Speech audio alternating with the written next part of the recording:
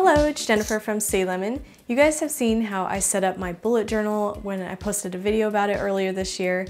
Well, lately, as my plate has gotten more full, the system isn't really working for me so much. And when that happens, I think it's good to try something new and switch up your planning routine. Personally, I still like using my Google Calendar on my phone and my computer for all my events, my work tasks, so they all sync together, but I still do like writing a to-do list in my bullet journal. It's just something about writing stuff down really helps me, so I want to keep both of those and I came up with this different kind of system for my daily planning routine. If you just have a few minutes to sit down with this piece of paper, it's quick and easy, and that's how I wanted it to be, and I'm sharing it with you guys in case some of you might be in a similar situation where you just need something easy and you maybe don't have so much time to bullet journal. I'll show you how I write this all out on a letter size paper or to save time, I also give you a template that I like to use. You can of course make your own version of this idea and adjust it to suit your planning needs. Before we get into it, I'm happy to say that today's video is sponsored by Audible.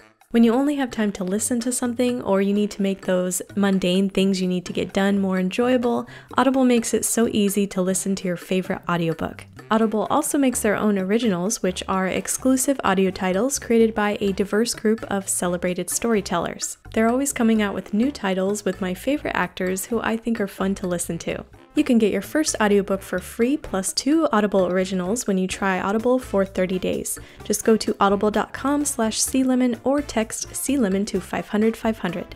Here's a really easy way to make your own planning page. All you need is a letter-sized piece of paper and a pen. Write the date on top and make four columns. I like to title these columns into list and then sort, then schedule and notes. The list portion is more for you to get all of the things you think you need to do out of your head and onto paper. And just like I do with my bullet journal, I like to divide these tasks into work tasks and personal tasks. I write down anything that's already scheduled on my calendar and then anything else that's swirling around in my mind just to get it all out onto paper. Then I like to sort all of these things into three categories. Things that are priority that I'd really like to get done today. Contact, this is messages, emails, phone calls, and things that could be done if I have spare time.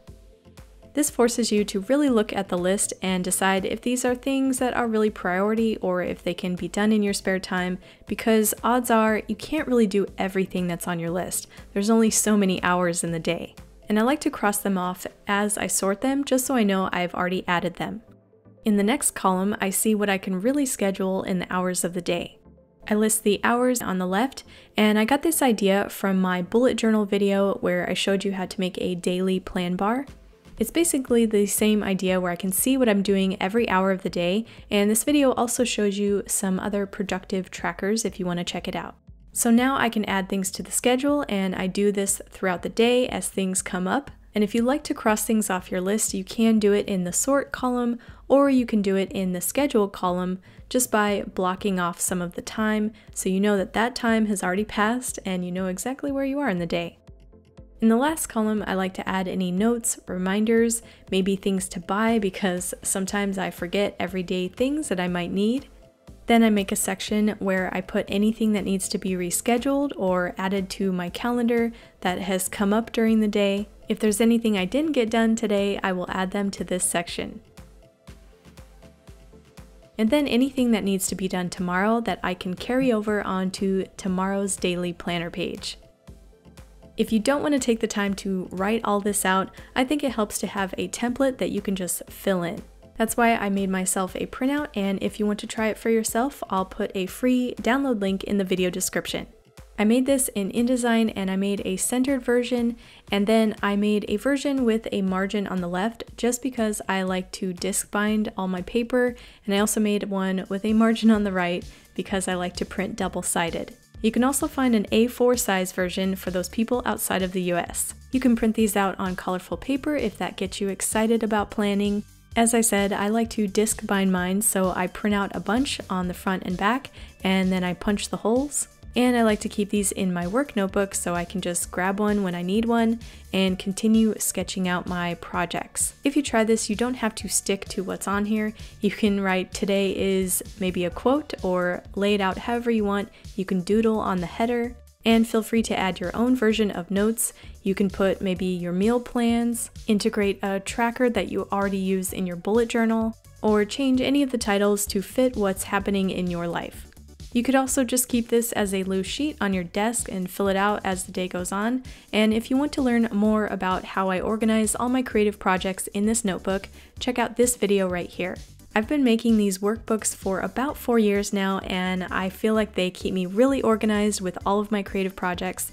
So if you want some ideas on this, go check it out. Link is also down below. Whichever way you choose to plan, I hope you found this helpful and it gave you some ideas. Thanks again to Audible for sponsoring this video. You can get your first audiobook for free plus two Audible originals when you try Audible for 30 days.